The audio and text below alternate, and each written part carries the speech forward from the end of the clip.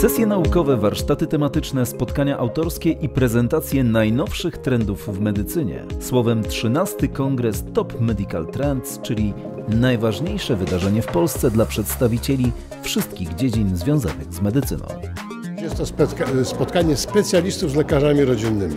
To jest pewien fenomen, który widzimy w Polsce, że lekarz rodzinny chce się uczyć. To wszystkim nam, jako pacjentom, daje szansę, że będziemy leczeni coraz lepiej. Myślę, że to jest ta najważniejsza wartość.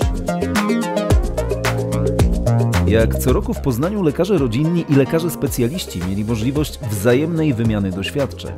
Kongres opiera się na formule liderzy opinii partnerami lekarza praktyka. Formuła ta realizowana była zarówno podczas spotkań indywidualnych, jak i w trakcie blisko 50 specjalistycznych sesji wykładowych i 11 warsztatów tematycznych.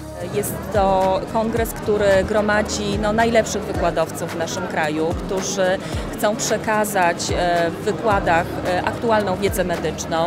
Co jest bardzo ważne, to są również lekarze praktycy, czyli e, ta wiedza przekazywana jest bardzo praktyczna, przydatna potem w codziennej pracy. Ostatnia sesja poświęcona była zagadnieniom reumatologicznym w praktyce lekarza POZ oraz praktycznym aspektom leczenia bólu. Chcieliśmy oswoić lekarzy rodzinnych z zagadnieniami reumatologicznymi, aby nie bali się diagnozować, leczyć chorych. Wykład skondensowany, konkretne informacje e, i realne korzyści w bardzo takiej przejrzystej, e, jasnej formie, poparty e, wynikami badań. Najnowsze wyniki badań, aktualne rekomendacje i nowatorskie punkty widzenia to wspólny mianownik dziesiątek publikacji książkowych. To właśnie podczas Top Medical Trends prezentowane są najważniejsze nowości wydawnicze, a czytelnicy dostają możliwość osobistego spotkania i rozmowy z autorami.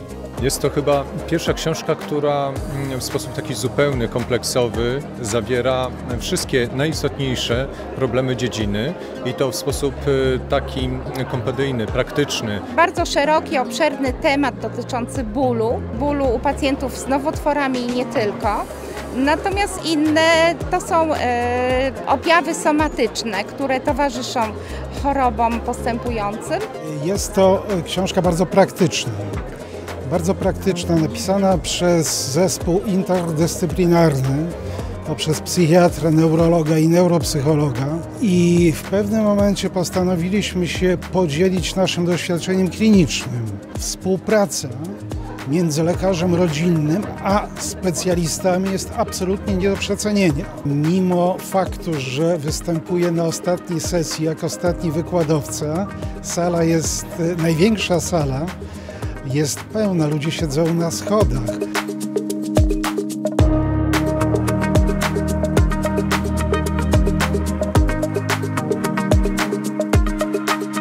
Trakcie kongresu przyznawana jest też znana i prestiżowa w środowisku medycznym nagroda imienia profesora Andrzeja Steciwko. Z panem profesorem Steciwko rozpoczynaliśmy ten kongres 13 lat temu. E, niestety pan profesor kolejnej edycji już nie doczekał, zmarł i aby go uhonorować, ustanowiliśmy razem z rodziną pana profesora nagrodę. Nagroda to jest dla takiego najlepszego w danym roku wykładowcy, który nie tylko przekazuje bardzo ciekawą wiedzę, ale też umie ją przekazać w sposób zrozumiały, przejrzysty.